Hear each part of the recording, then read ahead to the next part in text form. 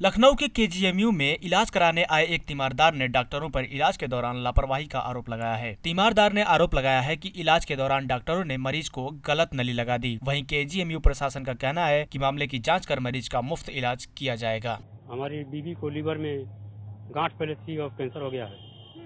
हाँ। और वही पाइप पड़ा है पाइप पहले सही थी। इस समय अभी दोबारा जब जाम था तो दोबारा दिखाए तो फिर सही नहीं हुआ। फिर वो वो गलत आ रहा है पिल- पिलिया जैसे आ रहा था और पिलिया उस समय अब नहीं आ रहा है वो दूसरा चीज़ कुछ आ रहा है। पेशेंट जहाँ पर है उसको हम दिखवा करके उसकी पूरी सहायता करेंगे।